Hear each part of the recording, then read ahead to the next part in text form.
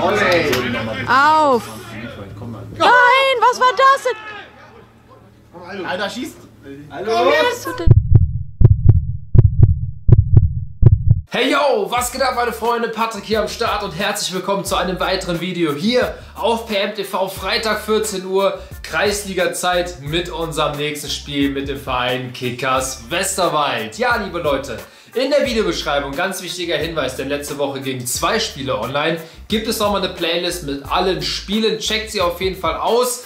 Das kann ich euch nur empfehlen. Mega geile Videos und falls ihr den Kanal noch nicht abonniert habt und euch gefällt, was ihr jetzt hier seht, dann abonniert doch gerne, aktiviert die Glocke, ist kostenlos. Lasst gerne einen Daumen nach oben, das Support ist kein Mord. Und ich würde sagen, ab geht's rein ins Spiel. Eingeblendet findet ihr nochmal alle unsere Social Media Auftritte und am Ende des Spiels gibt es auch noch ja, das neue Madden zu gewinnen. Viel Spaß damit und ab geht's rein ins Spiel. So, liebe Fußballfreunde, da sind wir auch schon am Platz angekommen. Wir stimmen uns ein im Kreis und das hier ist die Tabellensituation. Wir spielen heute zu Hause gegen St. Katharin, die sind Fünfter. Wir sind Dritter, nachdem Puderbach das letzte Spiel verloren hat, sind wir aufgrund der Tordifferenz Dritter.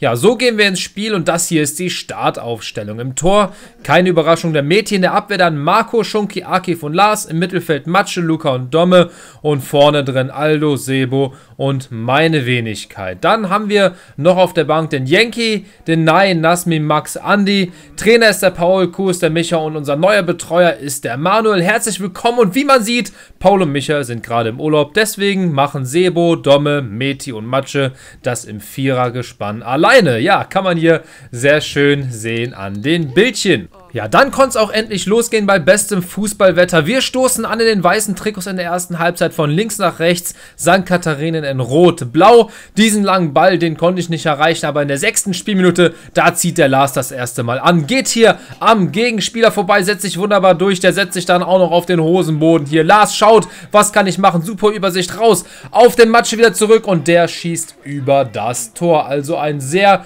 guter Beginn von uns. Die neunte Spielminute, der Ball kommt wieder zum Lars, der ja nach einer Ecke noch da vorne war. Sein Volley geht aber am Tor vorbei. Dann die nächste Ecke, diesmal von der anderen Seite von mir getreten. Und ja, da kommt der Matsche in der Mitte fast dran und kann den Ball einschieben, aber es sollte nicht sein. Weiterhin 0 zu 0. Die elfte Spielminute. Der Dommel bekommt hier den Ball vom Schunki, spielt ihn auf den Luca und der wunderbar auf seinen italienischen Freund, den Aldo, der jetzt quer auf den Sebo. Und da ist das 1 zu 0 für die Kickers, liebe Leute. Drittes Spiel, drittes Tor vom Sebo. Wunderbar gemacht. Auch hier vom Luca. Sehr schön hier die italienische Kombination auf den Aldo. Der liegt quer. Und da ist der Sebo zur Stelle. Und ihr könnt ja mal kommentieren, was könnte er mit diesem Jubel hier meinen, wo er sich die Ohren zuhält. Ich weiß es nämlich selber ehrlich gesagt auch nicht. Dann aber St. Katharin ist jetzt aufgewacht, versucht es mit einer scharfen Flanke, die aber dann ja mit dem Kopfball weit am Tor vorbeigeht. Die 16. spielte Einwurf auf den Aldo, der sich hier wunderbar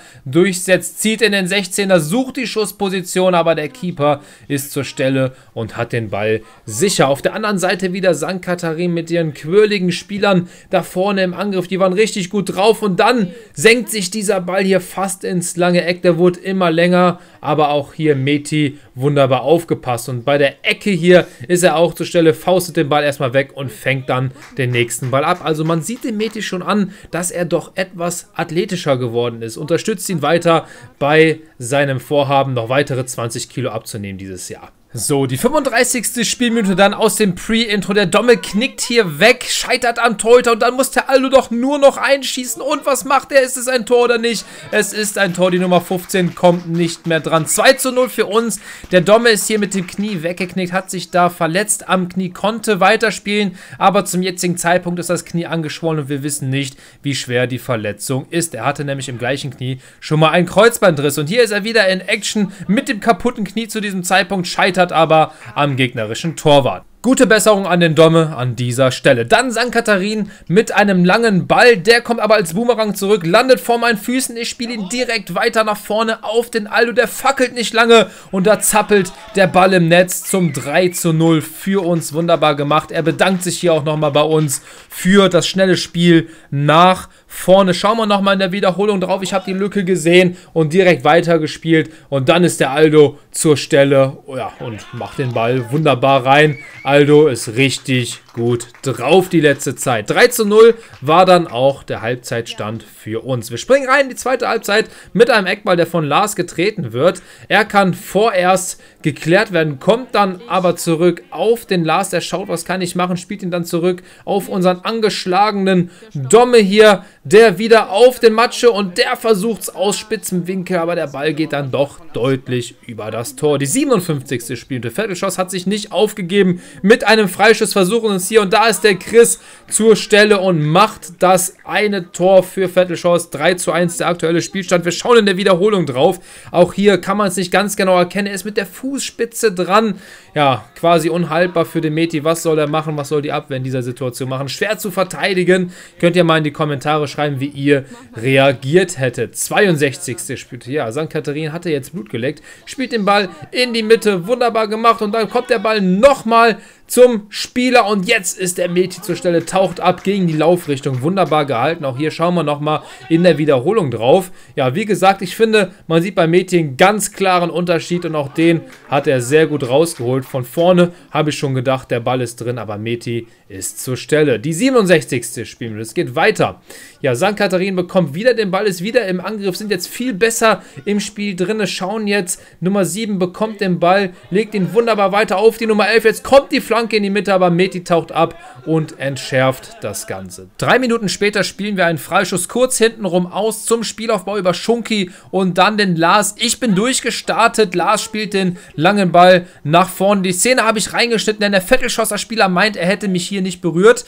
Ja, das sehe ich ein bisschen anders. Der rechte Oberschenkel hat mich ganz klar berührt. Könnt ihr auch mal gerne kommentieren, ob ihr das genauso seht. Wir bekommen einen Freistoß. Der Domme tritt an, der angeschlagene Domme und wie er diesen Freischuss tritt, Schritt ist einfach unnachahmlich zum 4 zu 1 für uns. Man muss sich immer mal vorstellen, zum Zeitpunkt, wo ich dieses Video kommentiere, sitzt der Domme mit einem geschwollenen Knie, wo er mal einen Kreuzbandriss hatte, zu Hause und weiß noch nicht, wie schlimm die Verletzung ist. Und da macht er einfach nochmal so ein Tor. Also unser Kapitän auch richtig gut drauf. Es wäre ein richtiger Verlust, wenn er jetzt ausfällt. 4 zu 1 der aktuelle Spielstand. Dann, ja, eine kleine Unachtsamkeit von uns in der Abwehr. Ja, und dann die Nummer 11 hier am Start und macht den Ball rein. 4 zu 2 nur noch. Also das auch kurze Zeit später. Wir machen es hier dann doch wieder spannend. Das ist Kreisliga. Wechseln dann auch ähm, ja, danach direkt aus quasi vor dem Anstoß. Der Max kommt rein, alter Schulfreund von mir. Freut mich übrigens, dass ja Fußball so sehr verbindet, dass man sich hier auch wieder am Fußballplatz trifft. Mit dem Max bin ich früher auch zur Schule gegangen. Ja, sehr guter Kumpel, wohnt jetzt in Köln, ist aber jetzt zu uns den Kickers gekommen, stößt jetzt hier an und das ist das erste Mal, dass ich seit der B-Jugend wieder mit ihm zusammen auf dem Platz stehe. Ja, bekommt einen langen Ball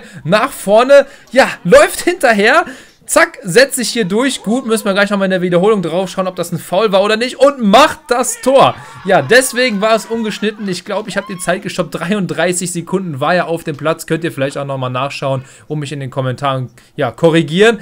Ja, macht hier direkt sein Tor. Bachelor nennen wir ihn. Ja, aber das hier ist, ja, ist das ein Foul oder nicht? Ihr seid gefragt, ist das ein Foul, liebe Leute, was der Max dort begangen hat? Ich muss ehrlich sagen, das war schon hart an der Grenze ja, wie er den Körpereinsatz geführt hat. Der Schiri hat es laufen lassen und wir führen mit 5 zu 2. Vettelschoss bzw. St. Katharina ist ja eine Spielgemeinschaft, hat sich aber nicht aufgegeben, versucht es mit einem hohen Ball in den 16er, der aber nur den Meti findet, der das Spiel dann schnell macht hier auf den Luca mit dem Abwurf. Luca war auch richtig stark heute, spielt den Ball wunderbar raus auf die rechte Seite, da ist der Domme, der schaut, wo kann ich hinspielen, sieht dann am zweiten Pfosten den Matsche, der legt ihn wieder in die Mitte zum Max und der verpasst hier die Chance, direkt das nächste Tor nachzulegen und dann die nächste Situation. Der Domme spielt den Ball ja nach vorne auf den Luca, der läuft durch, er läuft, er läuft, spielt den Ball jetzt in die Mitte und jetzt steht der Max wieder frei vorm Keeper, aber jetzt scheitert er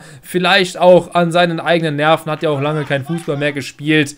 Ja, macht den Ball hier nicht rein. Die 82. Spielminute. Wieder ein langer Ball von uns. Das ist der Domme. Auch er hat wieder hier den Ball. Er war richtig gut drauf. Also ich kann einfach nicht verstehen, wie er sich in diesem Spiel verletzt hat. Wenn er danach noch so gekickt hat, spielt ihn auf den Nasmi. Aber der, ja, hat den Schussmoment hier verpasst. Dann war das Spiel vorbei. Ich denke, wir gewinnen verdient mit 5 zu 2. Danke an St. Katharin für das sehr faire Spiel. Wir spielen als nächstes gegen Melsbach, die sind aktuell siebter. Wir konnten den dritten Platz vorne drin behaupten. Wenn ihr an der Verlosung teilnehmen wollt, liebe Leute, dann müsst ihr das Video liken, PMTV abonnieren. Seht ihr jetzt auch hier im Hintergrund aktiviert die Glocke, wenn ihr mehr von uns sehen wollt. Kommentiert mit eurem Instagram-Namen und ganz wichtig, folgt uns auch dort.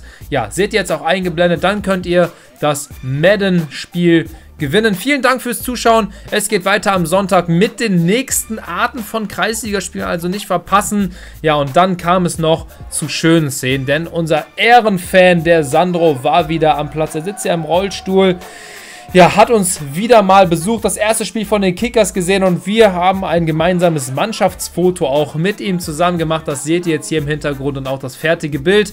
Sowas, wie gesagt, findet ihr bei uns auf den Social Media Kanälen. Deswegen folgt überall den Kickers. Ist alles in der Videobeschreibung verlinkt. Ja, auch die Website und auch die ganzen anderen Spiele, die wir bisher hochgeladen haben. Wir bedanken uns für eure Aufmerksamkeit, wünschen euch einen schönen Tag, bleibt verletzungsfrei und schaltet am Sonntag ein, wenn es weitergeht mit dem nächsten Video über Arten von Kreisliga-Fußballern. Ciao!